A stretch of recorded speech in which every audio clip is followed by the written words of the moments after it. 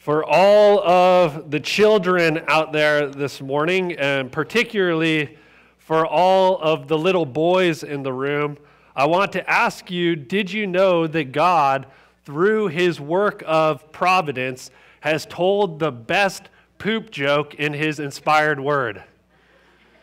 Not where you thought we were going this morning. That God, through his work of providence in his inspired word, has told the best poop joke, and we are going to see that this morning. And, saints, did you know that by telling this providential poop joke, the Lord is displaying a glorious picture of the gospel, which he certainly is in the account we get to this morning. So, if you have your Bibles, I encourage you to turn in them to Judges chapter 3. I promise I'm not just trying to be flippant this morning with the Word of God, but there is a comedy that we see in God's Word this morning as it pertains to the details of the Scriptures. And as we're studying the book of Judges, this morning we come to the second judge in Judges chapter 3, the judge of Ehud. And really, this morning's text covers the story of the contrast of two men in the scriptures. There is Ehud, the judge, on one hand, the deliverer sent from God, and there is Eglon on the other hand, the one who comes against the people of God. And as we will see in this glorious text, there is some humorous humiliation. There's some humorous humiliation, which is the title of this morning's sermon. So let's hear what God's word has to say to us from Judges chapter 3, beginning in verse 12. Hear the word of the Lord, saints. It says, And the people of Israel again did what was evil in the sight of the Lord. And the Lord strengthened Eglon, the king of Moab, against Israel because they had done what was evil in the sight of the Lord. He gathered to himself the Ammonites and the Amalekites and went and defeated Israel and they took possession of the city of palms. And the people of Israel served Eglon, the king of Moab, 18 years. Then the people of Israel cried out to the Lord, and the Lord raised up for them a deliverer, Ehud, the son of Gera, the Benjaminite, a left handed man. The people of Israel sent tribute by him to Eglon, the king of Moab. And Ehud made for himself a sword with two edges, a cubit in length and he bound it to his right thigh under his clothes. And he presented the tribute to Eglon, king of Moab. Now, Eglon was a very fat man. And when Ehud had finished presenting the tribute, he sent away the people who carried the tribute. But he himself turned back at the idols near Gilgal and said, I have a secret message for you, O king. And he commanded, Silence and all his attendants went out from his presence. And he, Ehud came to him as he was sitting alone in his cool roof chamber. And Ehud said, I have a message from God for you. And he arose from his seat, and Ehud reached with his left hand, took the sword from his right thigh, and thrust it into his belly. And the hilt also went in after the blade, and the fat closed over the blade, for he did not pull the sword out of his belly, and the dung came out. Then Ehud went out into the porch and closed the doors of the roof chamber behind him and locked them. When he had gone, the servants came, and when they saw the doors of the roof chamber were locked, they thought, Surely he is relieving himself in the closet of the cool chamber. And they waited till they were embarrassed. When they, he still did not open the doors of the roof chamber, they took a key and opened them, and there lay their Lord, dead on the floor. Ehud escaped while they delayed, and he passed beyond the idols and escaped to Seirah. When he arrived, he sounded the trumpet in the hill country of Ephraim. Then the people of Israel went down with him from the hill country, and he was their leader. And he said to them, Follow after me, for the Lord has given your enemies, the Moabites, into your hand. So they went down after him and seized the fords of the Jordan against the Moabites, and did not allow anyone to pass over. And they killed at that time about 10,000 of the Moabites, all strong, able bodied men. Not a man escaped. So Moab was subdued that day under the hand of Israel, and the land had rest for 80 years. The grass withers, the flower fades, but the word of our God will stand forever. Will you pray with me? Oh, dear Heavenly Father, I pray that as we come to your word this morning, in a narrative that's incredibly engaging to our imaginations and our thoughts, that we would read this and understand that your scriptures are not merely a collection of fun or just merely humorous stories. But your scriptures are here to proclaim first and foremost Christ.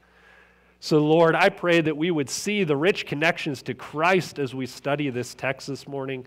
Lord, I pray that we would be able to mock at the complete incompetence of sin and rebellion against you. And Lord, I pray that you give us eyes to see how we personally need to apply this text to our own lives. Lord, would you help us to be faithful and reverent to you this morning? It's in Jesus' name we pray. Amen. Now, as we've been working through the book of Judges, last week we came to the first judge, Othniel, and we saw some incredible information about who these judges are, that they were not primarily the spiritual leaders of the people. That would have been the job of the Levites, the priests, but they uh, were the defenders of the people. That God raised these people up in order to address the wickedness amongst the people, in order to flee from them those who were oppressing them. And so they served a role of judging within the body to help clear up problems, but they also served a military function in order to judge nations that were oppressing them throughout the book of Judges. And we see a picture of this in Othniel last week as he saved the people from their sin. They were rebelling against God, and thus God allowed King, if you remember his name, meant double wicked to come and take over them from the land of Proto Babylon, what would become Babylon later.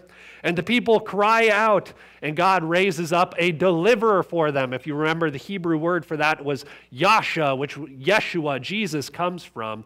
And God gives them a savior, a deliverer, through the person of Othniel. And this Othniel, this deliverer, came up and crushed King Double Wicked and gave the people, if you remember at the end of it, rest, right, in the Lord from their persecution that they had been under because of their sin. Well, as we move into this week, as you look down at your text in verse 12, the first line of it, unfortunately, is the people of Israel again did what was evil in the sight of the Lord. They did not learn their lesson of the redemption that they experienced under Othniel, but unfortunately, they repeated that sad pattern of after a generation of rest now they go back to their idols and again did what was evil in the sight of the Lord. So, what we're going to look at this morning is three points from this narrative. The first is old enemies in verses 12 through 14.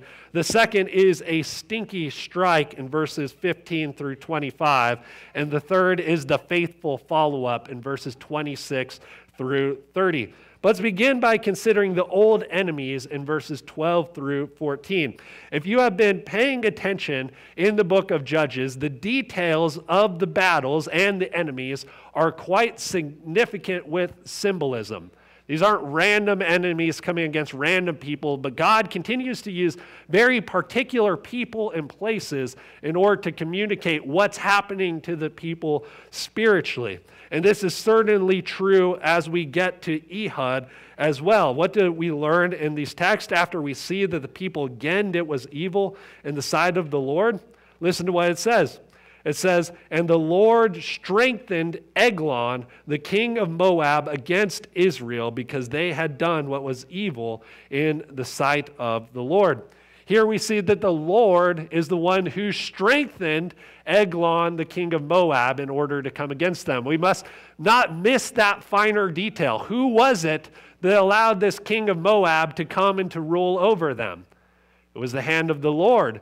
It was the Lord who strengthened this man and raised him up.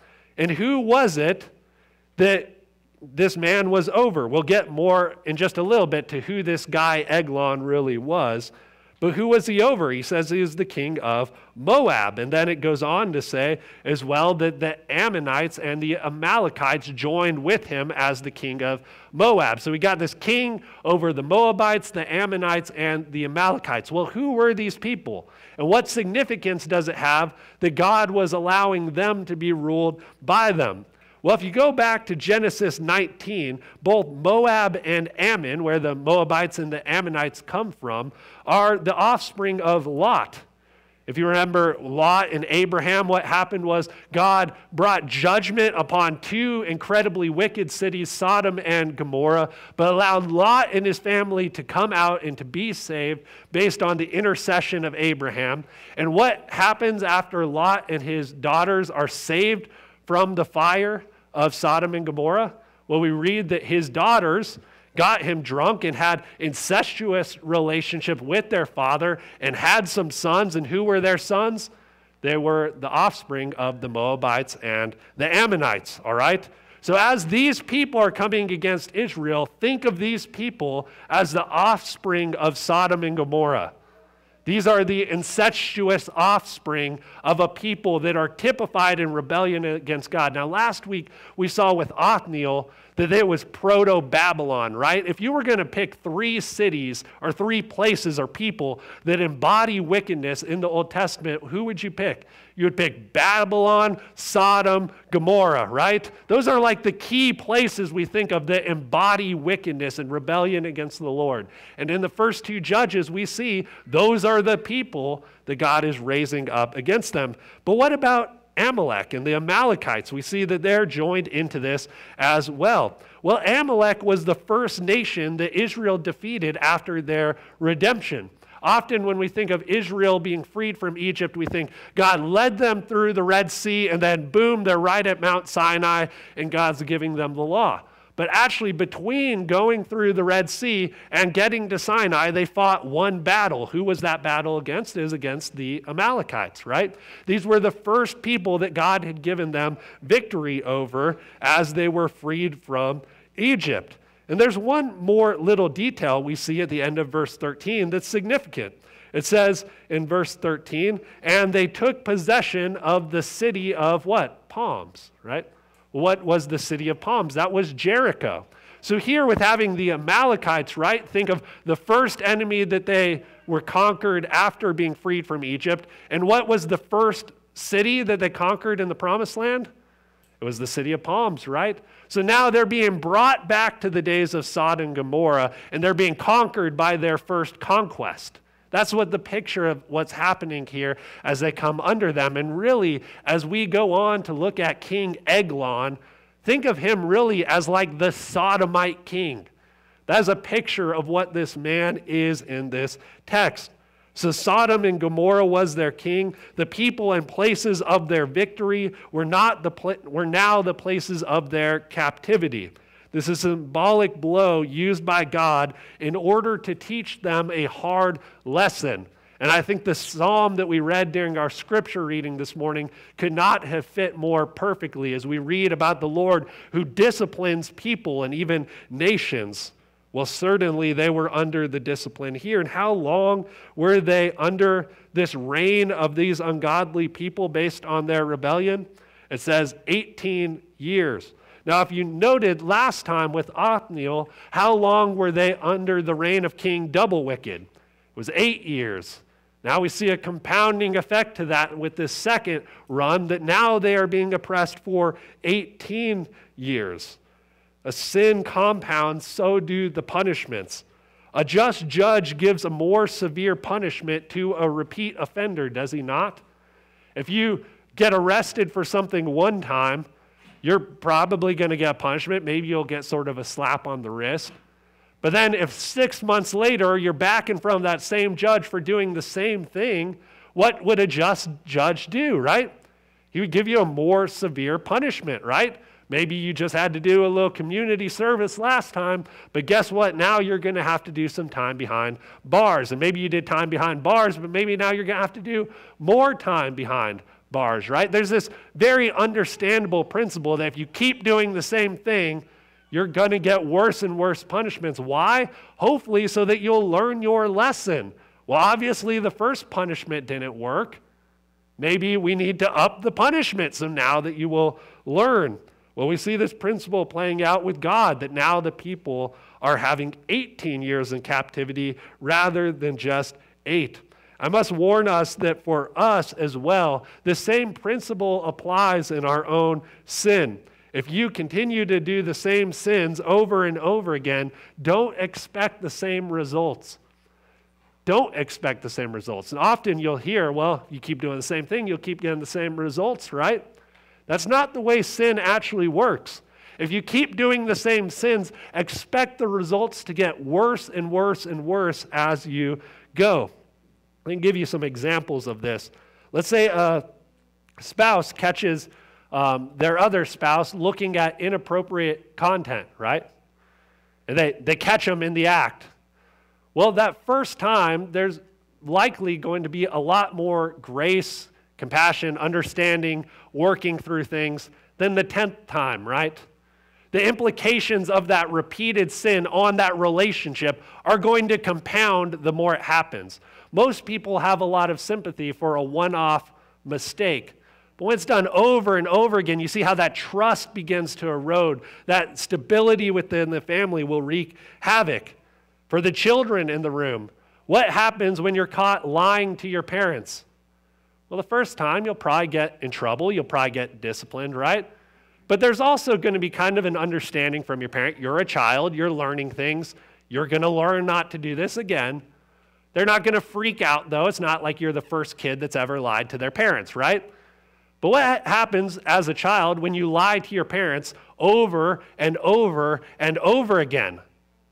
They're going to begin to not trust you, right? They're going to begin to take away responsibilities from you. They're going to begin to question the things that you say to them, right? As those sins compound, so will the consequences. This is a normal pattern of life. And here we see the Lord's discipline multiply as the people become repeat offenders. We must learn that that principle is still in application today, as we know from Hebrews, that the Lord still disciplines those he loves as a father and does a son in whom he delights. Our God will still discipline us in our sin, and we should expect, if we keep going against our Father's will, that the discipline will get more and more severe as we go. Which leads to our second point, and that stinky strike in verses 15 through 25. And we must realize as we go into the, this section that as men mock a holy God, who is going to get the final laugh? As men mock a holy God, who is it that's going to get the final laugh? Those that scoff at the Lord or the Lord Himself? I want to just read this section through one more time as a whole because it's in the narrative, it's in the whole that we really get the impact of what's happening here. And then we're going to go through line by line and see some of the details. But look at, back down at your Bible at verse 15 with me. It says, Then the people of Israel cried out to the Lord and the Lord raised up for them a deliverer, Ehud, the son of Gera, the Benjaminite, a left handed man. The people of Israel sent tribute by him to Eglon, the king of Moab. And Ehud made for himself a sword with two edges, a cubit in length, and he bound it on his right thigh under his clothes. And he presented the tribute to Eglon, king of Moab. Now, Eglon was a very fat man and when Ehud had finished presenting the tribute, he sent away the people who carried the tribute. But he himself turned back at the idols near Gilgal and said, I have a secret message for you, O king. And he commanded, Silence. And all his attendants went out from his presence. And Ehud came to him as he was sitting alone in his cool roof chamber. And Ehud said, I have a message from God for you. And he arose from his seat, and Ehud reached to his left hand and or reached with his left hand and took the sword from his right thigh and thrust it into his belly. And the hilt also went in after the blade, and the fat closed over the blade, for he did not pull the sword out of his belly, and the dung came out. Then Ehud went out into the porch and closed the doors of the roof chamber behind him and locked them. So, in this text, we see this just incredible narrative happening between this deliverer, this judge God had raised up, and this king of Sodom, so to speak, that had become the ruler over the people. Now, this text begins with an incredibly important verse. What does it say? That the people cry out to the Lord. The people cry out to the Lord. And what does God do in response? He sends to them a deliverer. And this is a glorious pattern that we see throughout the book of Judges. In one sense, it's so disheartening that the people, time and time again, run after their idols and their foreign gods. But yet, in the Lord's discipline, what do we see time and time again? He turns the heart of the people back to Him through their discipline. Let me ask you, they were worshiping foreign gods at the beginning of the text, but who did they know to turn to when things got rough? Did they cry out to these foreign gods? No, they knew they were incompetent to save them, right? They cried out to the Lord, Yahweh, the God of Israel, their covenant keeping God, and the Lord, who's gracious and merciful to his people, answered them.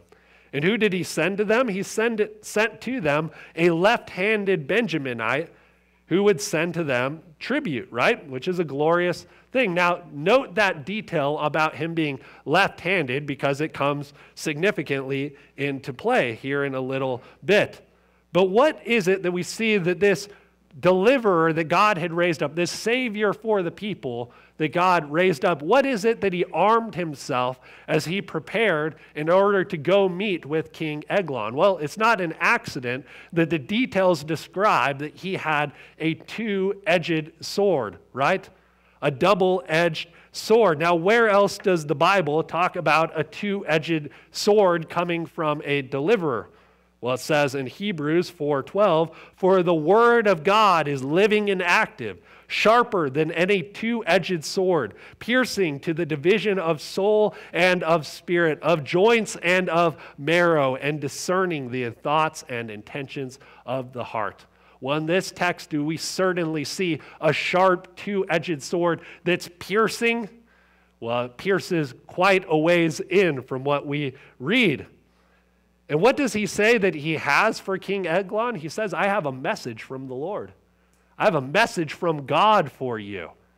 Well, here we see that message ends up actually being the two edged sword. I don't think it's a surprise that we get to the New Testament and what is the symbol for God's message, God's word? It's a two edged sword. In Revelation 1, the Lord Jesus appears, and what is it that he has coming out of his mouth? The text proclaims that he has a sharp two edged sword as a tongue. It's a picture of God and His word and His justice. And who is it that he brings this to? He brings this to King Eglon, who, verse 17, tells us that he was a very fat man. Now, we have to understand as we read this that this isn't some merely external commentary that the Lord has given and some playing jabs, that sort of thing. At its beginning, this is an incredibly uncommon detail that is being noted. The ancient world, there was not a lot of people that you could describe as being a very fat man. Those people didn't really exist. Now, there's all kinds of reasons for that, from the food they ate to the lifestyles they lived to their financial situation, right? But to be someone that was a very large fat man, as is described here in the ancient world, was hard to come by. In many ways, it was a picture of a physical description that's not intended to be merely external, but rather a picture of the external showing that this was a man of gluttony, of sloth, and of self indulgence, right? This was not the type of king that would lead the front of the troops into battle. This was the type of king that stayed home and ate while many of his people would go hungry, right? Was a man that was full of self indulgence, full of gluttony, full of sloth. And as the people's leader, he was a reflection of them in many ways. That the people were self indulgent, they were self absorbed. Part of God's judgment was showing the people of Israel this is the king that you deserve. Eglon, he represents you well, Israel. Right? Remember, who was it that raised up this king? But it was the Lord. We must realize for us that our sovereign Lord often gives us wicked leaders whom we deserve. Whether we like them or not, often they represent us well, even if that makes us uncomfortable. It's an act of our sovereign Lord. And as this scenario is playing out, as we see these details about some of the characters and the weapons building in, what then happens as they come before one another? We see in 18 through 23 this beautiful picture of Ehud's private message from the Lord. What does it begin with? In verse 18, we see Ehud had this delegation with him in order to bring tribute to the king. And then he sends away his delegates. He's saying, No, I can do this on my own. Notice the deliverer doesn't need the help of his other people who are with him. The deliverer does it all by himself. We are saved through a deliverer who is one man, Christ Jesus, who bore our burdens in our place. Ehud stands alone. And he goes before this king and he declares to him that he has a private message for the king. And thus the king commands silence. Now, when you're a king, especially a fat king, you can imagine that there's many servants and waiters and all kinds of people around him that would constantly be tending to whatever his little needs are. So when he here declares silence, he's not merely telling people to stop talking. That declaration of silence is okay, everyone needs to leave my presence so that we can actually have peace and quiet so I can hear what this message is, right? He sends everyone out from him. And thus we see the scenario playing out that they're up on the cool roof chamber. And Ehud declares that he has a message from God for the king. Now, what's key for us to note here, it's easy for us to miss is when Ehud says, I have a message from God for the king, he does not use the word that's typically used in the Old Testament that we see in our Bibles that says Lord in all uppercase, right? Yahweh, the God of Israel. But rather, he just uses the generic word, Hebrew word for God. So I believe it's very likely, especially given the type of king this was, that he believed he was receiving a message from a God, right? This is an idol filled man. In fact, you see in the scenarios multiple times in this um, narrative playing out that this man has set up idols all over the place. And so I think here he's standing to attention because he wants to hear from one of these idols. He's an idol worshiper. This man has a message from an idol. I want to hear it, right? I certainly don't think he's standing to attention because he has great reverence for Yahweh, the covenant keeping God of Israel. That wouldn't make any sense to the narrative at all. But here we see that he does stand to attention. He does give reverence to whatever this word from this, whatever God it is, he wants to hear it. And thus he stands, which we still have some symbols in our culture today of the significance of standing to attention in order to give reverence, right? When the national anthem is played, you stand to attention. If someone important enters the room, right, everyone stands to attention. Well, here, this king, this man who loved idols, was intent to hear from one, and he pulled himself up to full attention to hear what it is that Ehud had to say to him. Now, we must understand, as this is fleshing out here, the nature of a lot of Middle Eastern superstition that plays into this story. In the Middle East, or in cultures, even to this day, the left hand is considered unclean, whereas the right hand is considered clean. In these areas often if you use the bathroom you were only going to use your left hand you would never want to dirty your right hand with that sort of endeavor as well, it would be considered extremely offensive if you were to go up to someone and try to shake their hands with your left hand, right? That would be considered absolutely unheard of. Well, we still see that fleshing out in many cultures today, and that would have been common in these cultures at this time. And one of the things, because of this superstition, because of the shame of the left hand, they simply would not allow their young boys to be left handed.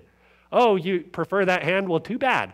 Learn to use the right hand, anyways, right? We're going to train that out of you because there's no way we're going to have left handed people. That's a disgrace to us. So King Eglon was not used to seeing left handed people. That would have been completely foreign to him. He would not have been prepared for that at all. And we see Israel was not prone to that same sort of superstition as it pertains to the hand. We see Ehud here grows up as a left handed man. He obviously learns how to wield a weapon with it, right? He's comfortable with it. He fits his sword to be prepared for it. right? He's comfortable using this. Now, all of this is playing out in the narrative as we see that as they're now standing to attention, he's giving reverence to this God he's going to hear about, and he reaches over with his left hand to his right thigh. Eglon's not startled in the bit. Why is that? Because every soldier he would have ever known keeps his sword on his left thigh and would have reached for it with his right hand. And thus, to see this man standing to full attention, reaching with his left hand to his right thigh, he wouldn't have even flinched. He wouldn't have seen the threat coming. It would have been a complete surprise to him, which then gives way to what we see in verses 21 through 23. And it says, And Ehud reached for his left hand, took the sword from his right thigh, and thrust it into his belly, and the hilt also went in after the blade. This is a decently large blade, 18 inches or so. All right, that's the length of what this blade would be. That's not a small little dagger or pocket knife he's holding here, all right? An 18 inch long blade thrusted into his belly, and the hilt also went in after the blade, and the fat closed over the blade, for he did not pull the sword out of his belly, and the dung came out. Then Ehud went out into the porch and closed the doors of the roof chamber behind him and locked them. Now, why is this important given the context of the hands? Because he never saw this happening, right? He was completely exposed, completely off guard. And we see this picture of this sodomite king completely disposed and utterly humiliated. Eglon's fat swallowed the blade, handle and all. All that was left of this wicked, evil ruler who had oppressed the people of God was the dung that lay on the floor, right? That is what's left of him. That's the picture. In a sense in which we laugh because there's a middle school boy that still exists and even grown adults, right? There's, there's part of us that just, it's funny. But what's the imagery of it? It's the imagery of being totally laid waste, right? In his pomp, in his being, you know, this credible king who was showing by just his physical stature that he was wealthier than everyone, more powerful than them. They can go work, I don't have to work. They can be hungry, I'm not going to be hungry, right? But what was he laid to? He was laid to utter humiliation. And so, what should we take from this stinky strike? Well, it should tell us two things. The first is that our God laughs at wicked rulers.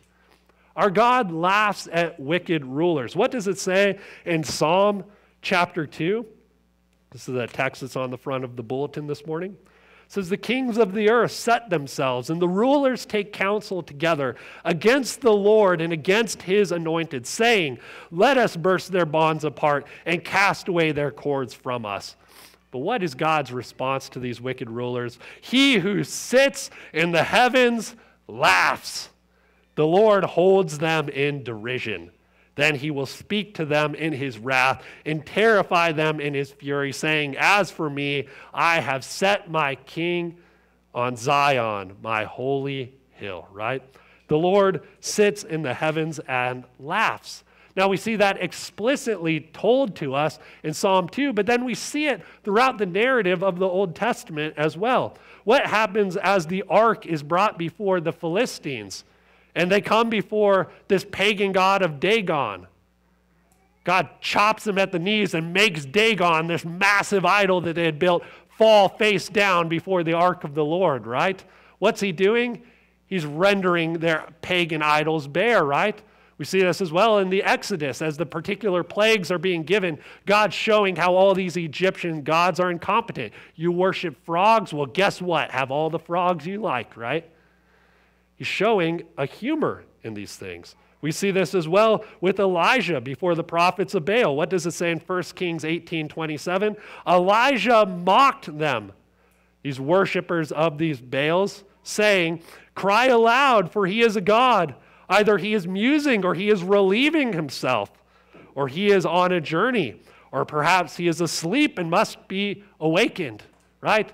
Was he saying these pagan gods you worship they're worthless, right? They're worthy to be mocked. Maybe your God that's so powerful, maybe he's just on the pot, right? Maybe he's taking a nap. He can't come to help you, right? That's what Elijah the prophet's doing before the prophets of Baal. So, what is our application from this sort of thing? In its right place, we should embrace a lighthearted mockery at the devil's schemes. We should not ever, as a Christian, think that God and the devil are somehow on equal footing. You know that classic picture in the cartoons, right? Of you have like an angel on one shoulder and a demon on the other shoulder. And we're almost made to believe that like Jesus and the devil are equal foes, that they're equally powerful that they're equally capable of winning a war. Nothing could be further from the truth. What do pagan gods stand against the one true and living God? Nothing, right? Their schemes will render themselves futile. Ultimately, we know who wins. We know how the end of this story goes. And thus, as the devil gives his ridiculous schemes, we should have at times a light-hearted sense of laughter, right? Who are you to answer to the living God, you uncircumcised Philistine, right? As David before Goliath. He's not afraid of this guy. He might look big, but do you know how big his God is? Do we have that mindset? The Lord sits in the heaven and laughs. He holds them all in derision. Must also see from this example that it's not only showing us God's humor in these things, but it's also symbolic. In the law of God, feces was seen as ceremonially unclean, right? Wasn't even allowed in the camp. It certainly wasn't part of their purification rites. It was very particular on how they were to handle their defecation, right? You read about that in the law of God. So, thus, there's a picture here as God is deposing this leader in such a way that God is symbolically ridding them of their uncleanness by deposing this ruler in this fashion. And what is it that causes this unclean ruler's bowels to be opened up? Well, the Yasha, the deliverer, piercing the king with the sharp double edged sword. And they pierce him with just a piece of that sword. Remember, again, the sword is a picture of the Word of God in the rest of the scriptures. Did he give them just the New Testament, just the uplifting Psalms? No, he took the entirety of that two edged sword and sunk it into the large belly of the foe. The whole sword, hilt and all. This message from God for the king was symbolic of a type of gospel. For our Messiah, our deliverer, destroys the power of Satan, a fat, useless king, and spills his bowels with his two edged sword. Our Savior sits in the heavens and laughs. He destroys the kings and the powers of this world who come against him. This is a picture of the book of Revelation, is it not? Our Savior bearing the two edged sword, destroying the great dragon, and delivering his people. This is what our God does. The story is comical and it's glorious. That is, if you're on the deliverer's side. If you're found with Yahweh, if you're found with the deliverer, this is a story to tell your children of, right? This is a great work of God on your behalf, saving you from a wicked oppressor. But if your allegiances are with Eglon, the result of this encounter is quite humiliating, is it not? Now, make no mistake, if you have yet to bow to King Jesus, your loyalties lie with Eglon. He is your king, he represents you. And these next few verses are a picture of your own humiliation if you fail to turn from him. Listen to what it says in verse 24 and 25. It says, When he had gone, the servants came, and when they saw the doors of the roof chamber were locked, they thought, Surely he's relieving himself in the closet of the cool chamber. Why were they thinking that? Because it stunk out there, all right? They smelled it. This wasn't an accident. Verse 25, and they waited till what does it say? They were embarrassed. They're out there humiliated. What's happening in there? But when he still did not open the doors of the roof chamber, they took the key and opened them. This was probably a fearful act for interrupting the king who had commanded silence. Certainly could have been their death blow. So they're doing this with fear and trepidation. And there lay their Lord dead on the floor. They were humiliated. I must tell you, if you are not worshiping the Lord, you're putting your hope in something that will fail you. You're putting your hope in something that will utterly humiliate you. The gods that you're chasing, the idols of this age, they will leave you humiliated. And one day you will see these lords that you've worshiped dead on the floor, covered in their own feces, right? It's gross, but that's the picture of what happens when we worship something other than the one true living God. If you're not following Jesus, I praise your eyes will be open to that this morning, which leads to our final point the faithful follow up in verses 26 through 30. So, what happens after this large king is laid to waste? Well, we see the faithful follow up in these final verses. Read with me, beginning in verse 26. It says, Ehud escaped while they delayed, and he passed beyond the idols and escaped to Seirah. When he arrived, he sounded the trumpet in the hill country of Ephraim. Then the people of Israel went down with him from the hill country, and he was their leader.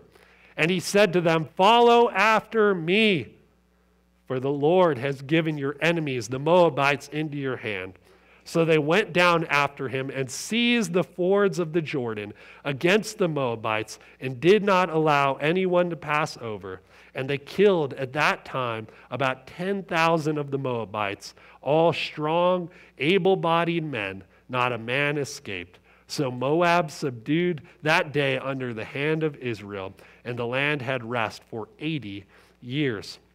Now, there's some glorious aspects and details of these final few verses. We won't be able to flesh out all of them this morning. But first, we should note in verse 26 that as he was leaving this deposed king, he passed by their idols. And did their idols leap out and stop him and prevent him from going any further? No, the picture is that he just waltzed right by, right? Their idols are incapable of stopping him, right? He waltzes past them. And then in verse 27, he sounds the trumpet to call the people to battle. I must again remind you that the details of this are always supposed to point us to Christ. We noted in Revelation 1 as Jesus appears that he comes with a sharp two edged sword in his mouth. But what does it also tell us of Jesus in Revelation 1? It says in Revelation 1 10 through 11, I was in the Spirit on the Lord's day and heard behind me a great voice as of a trumpet saying, I am the Alpha and Omega, the first and the last. Jesus is calling to us with a trumpet sound as well. The Alpha and Omega has spoken, and he has called us as his saints into battle. Are we ready to listen? What is it that he goes on to say in verse 28 as Ehud is leading the people into battle? He says, Follow me, follow me. And what does Jesus say to us as he calls his own disciples? He says, Follow me, and I will make you fishers of men. Saints, your Savior is calling you to follow him into battle.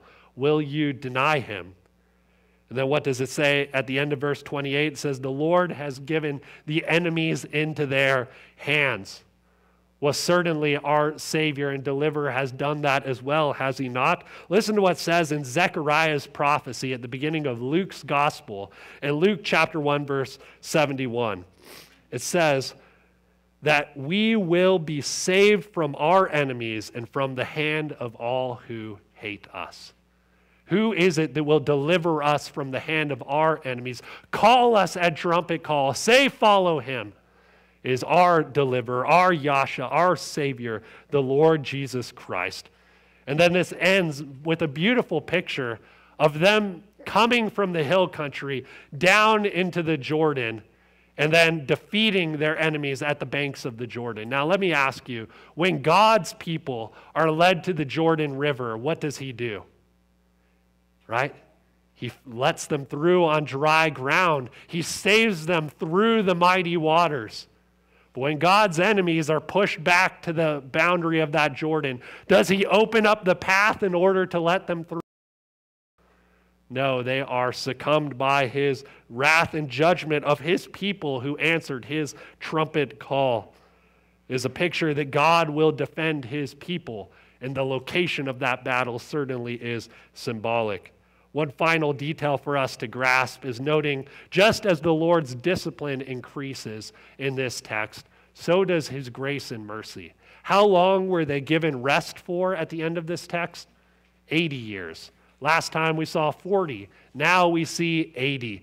When that again that 40 number is a picture of a generation in the Bible. So here we see that God gives them rest for two generations because he is certainly a merciful God to the people. In conclusion, saints, trust in your Savior. He is a powerful deliverer. The enemy cannot stand against him. Fight for your Savior. His trumpet calls us into battle to arm ourselves with the full armor of God, to wield the sword of His word in order to take down all His enemies. And far more than the enemies that were slain on the banks of the Jordan, the Lord who's sitting at the right hand of the Father, ruling and reigning, will make every enemy of His His footstool. There's not an enemy that won't be conquered by our reigning deliverer. So fight for him. And third, in a righteous and appropriate way, learn how to mock the enemy. Know who's on your side. Don't treat the devil as if he's an equal foe. It's true that the devil is prowling around like a roaring lion seeking to devour. But no, it's also true. The lion of the tribe of Judah is in your corner. He's far more powerful than that lame lion, the devil. Believe it live like it, follow him because of it. Would you pray with me? Oh, dear Heavenly Father, would we worship you as the great God of heaven and earth? Would we see what a great deliverer you have provided for us through your Son, Jesus Christ? Would we see how incompetent the enemies of God are before you? And would we see with great glory that you have delivered us by your mercy from our allegiance to the King of sin and purchased us into your kingdom. God, would we live like the things we studied this morning are true? Would we not just enjoy the narrative? Would you help us apply the narrative through the gospel? It's in Jesus' name we pray. Amen.